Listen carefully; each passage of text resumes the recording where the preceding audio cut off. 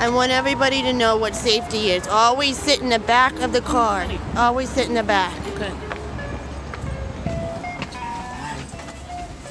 Hi. I'm doing great. 901 D Street, sir. Southwest. See how I'm traveling now? You gotta travel with your wingman. Huh? You gotta travel with your wingman. Not enough. What number? 901 Nine- D. Street, That's Southwest. Like. There you go. So we're headed to the Washington Convention Center Uh, yeah, we're going to the convention center. for the DC procurement. Uh huh. This is uh 29th annual Federal Procurement, uh, DC um, Government Conference. that's right. 29th annual. And I am with Dan Sturdivant and he is with Department of Homeland Security.